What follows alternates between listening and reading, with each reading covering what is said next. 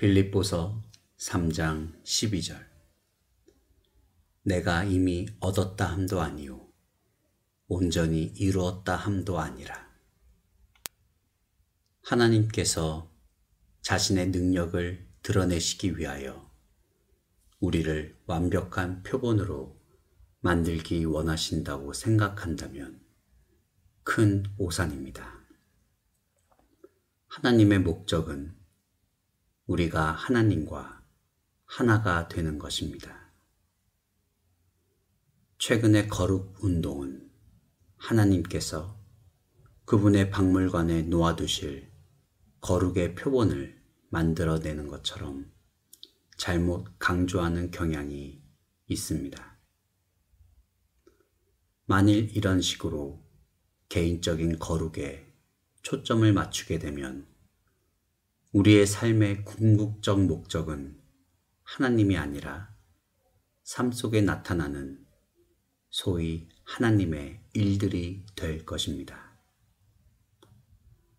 그들 중에는 내가 아프거나 병드는 것은 하나님의 뜻이 아닙니다. 라고 말하는 사람들까지 있습니다. 그러나 하나님의 아들이 고통당하는 것이 하나님의 뜻이었는데 하나님께서 왜 당신을 고통에서 피하게 하시겠습니까?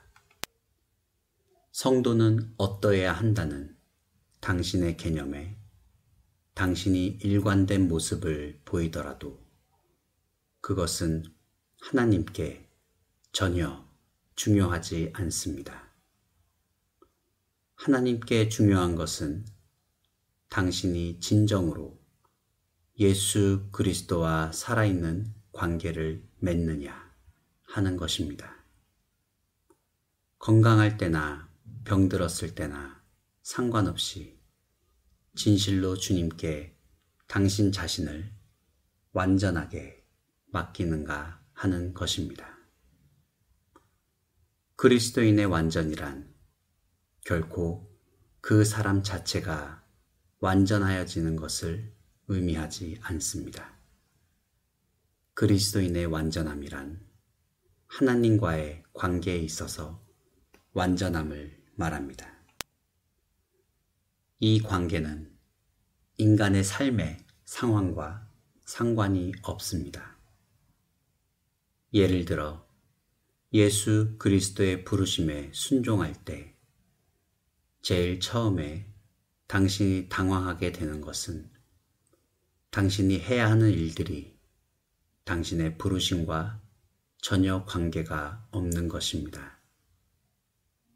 그 다음에 당신을 놀라게 하는 것은 다른 믿지 않는 사람들은 완벽하게 일관된 삶을 살아가는 것처럼 보이는 것입니다.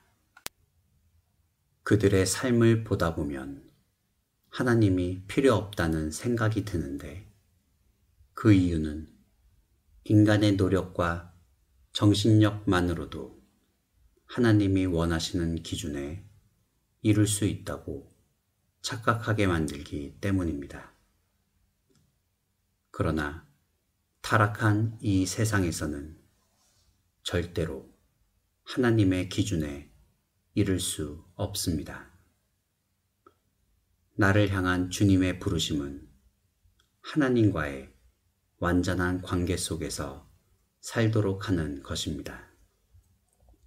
이는 내 자신의 영광을 위하여 사는 삶이 아니라 내 삶을 통하여 다른 사람의 삶 속에서 하나님을 향한 갈망이 일어나게 하는 삶입니다.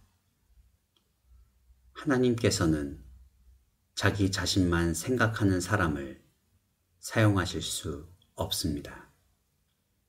하나님은 그분의 전시관에 나열할 완벽한 표본의 사람들을 만드실 계획도 없습니다. 하나님은 나를 사용하시고자 나를 사용하실 수 있는 곳으로 이끌고 계실 뿐입니다. 주께서 원하시는 대로 하시도록 맡기십시오.